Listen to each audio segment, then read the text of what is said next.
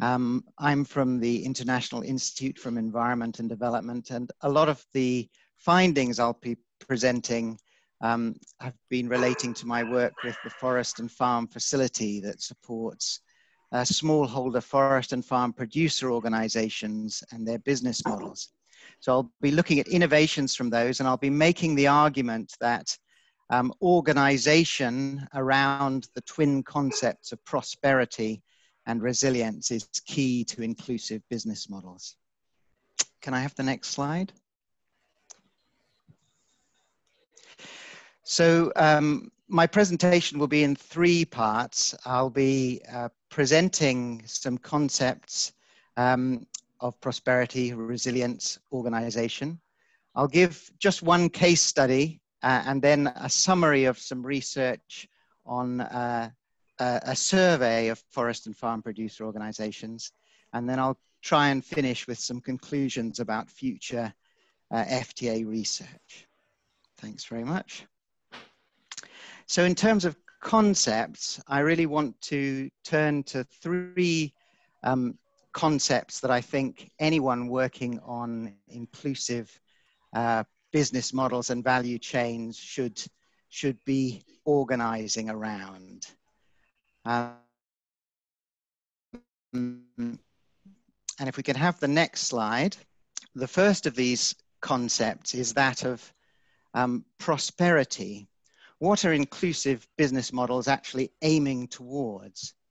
I think the concept of prosperity is um, understood to be a negotiated vision of that which people value and have reason to value in line with the common good.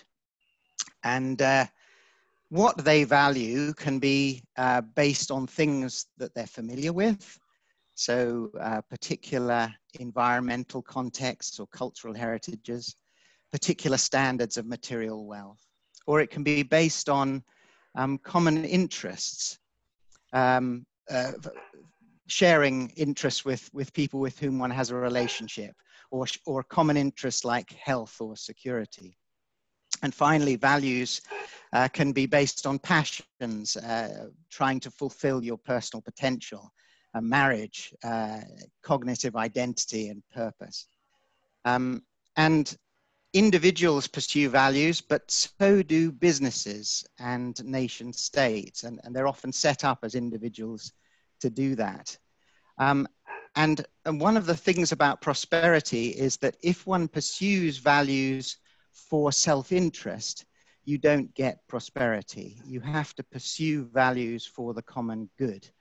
And uh, I'd like to put forward the idea that um, inclusive business models uh, have a lot to offer in, in the generation of prosperity, in the pursuit of the common good. So if I can have the next slide. The next concept I'd like to introduce is, is one of resilience. Um, and this is really what do inclusive business models face in terms of challenges? Now, resilience as a concept can uh, be thought of as having two main components. Um, on the one hand, there's the preparedness, the risk assessment side of, of resilience.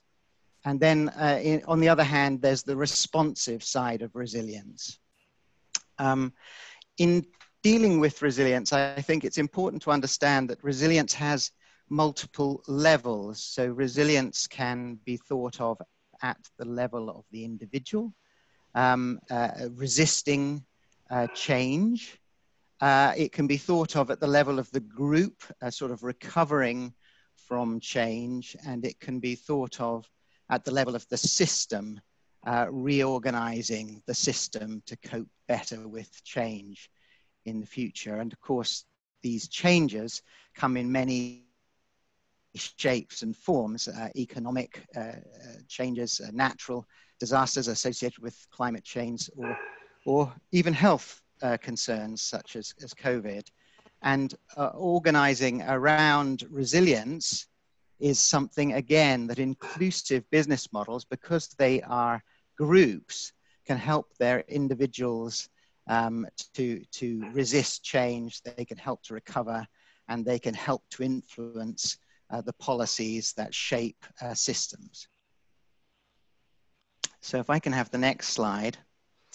In um, a recent body of work that we've been doing for um, WWF, we've been looking at um, uh, options uh, to better recognize and spread uh, sustainable forest management by indigenous peoples and local communities. And as we looked at the various options uh, that were being tried quite successfully in very different contexts around the world, a common denominator um, for those sorts of uh, changes um, were found to be um, accountable uh, local level organizations of different sorts. Um, so once you have accountable local organizations with finance structures embedded within them, it becomes possible to uh, develop concentric rings of, of opportunity. Um, it, it becomes possible to, to uh, you know, to, to map uh, rights for these groups. It becomes possible to help the groups uh, assess their own forest integrity. It, it becomes possible to reward them for sustainability through remote sensing and so on. And indeed, beyond that, it becomes possible to develop a number of supply chain options um, that, that uh, help uh, to, to improve their well-being operations. And, and I think some of the speakers who will come after me will, will illustrate this in a nice way. If I can have the next slide. So I've, I've tried to tie together the idea that um, for inclusive business, we need to have this focus on accountable organizations um, that, are, that are both pursuing prosperity and, and becoming more resilient. I'll give you one case study of how that works and then uh, look at some of the concerns from knowledge demand surveys. Okay. So this case study is from uh, the work of the Forest Farm Facility. Uh, it's one of 10 climate resilience case studies to be published later this year.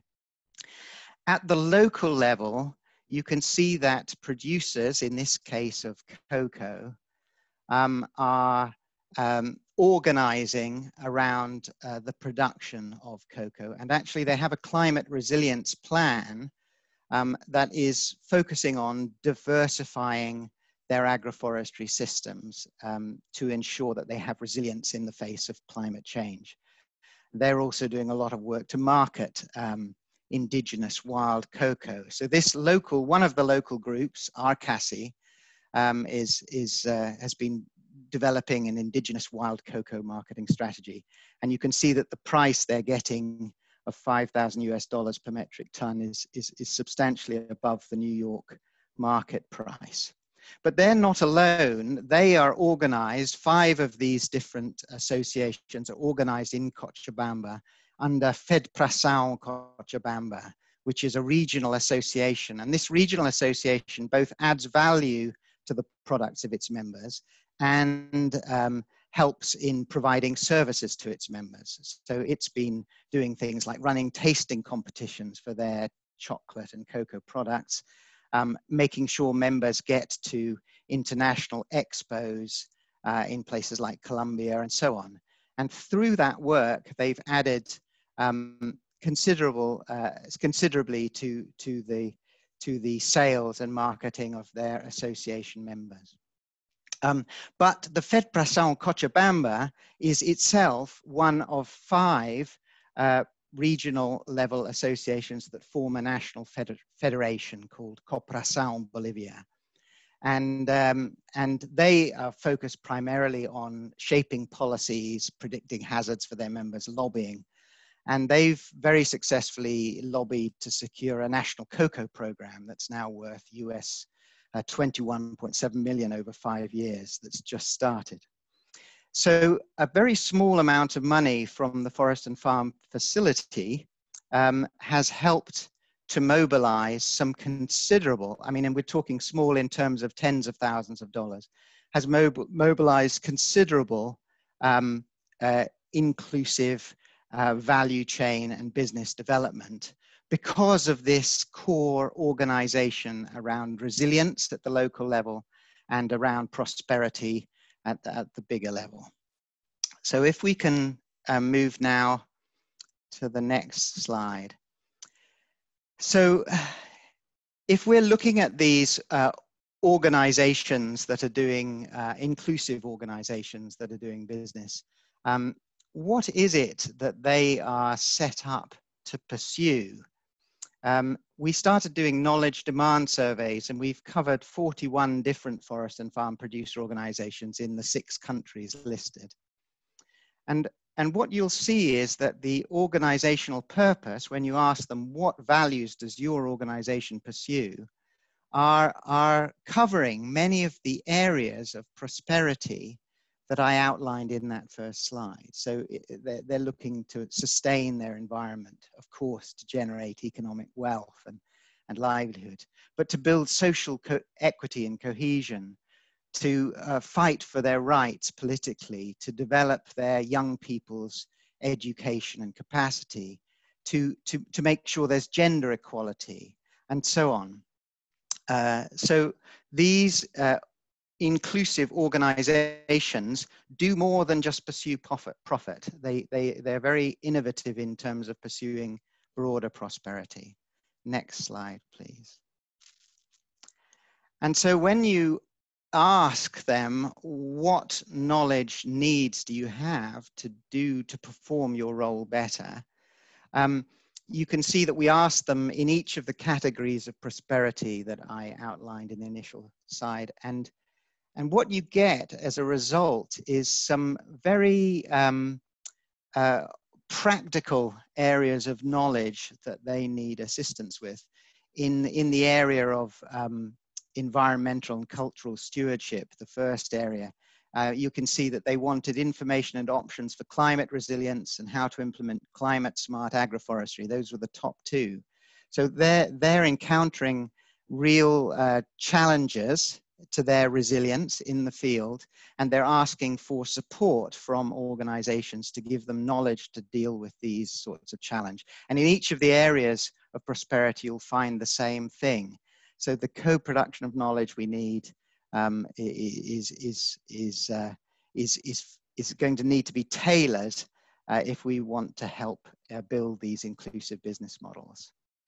Can I have the next so that brings me uh, finally to the conclusions.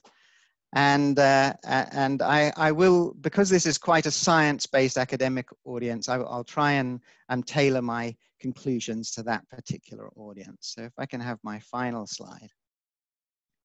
I guess the main take-home message I would like to make is that I see the collective agency of smallholders working in inclusive business models as the, the main change agents in forest landscape solutions. And, and uh, the cooperative smallholder business model might not necessarily um, make for a better income or, or, or, or so on, but it does open up the possibility of democratically accountable pursuit of some values uh, that, that local people believe to be prosperity.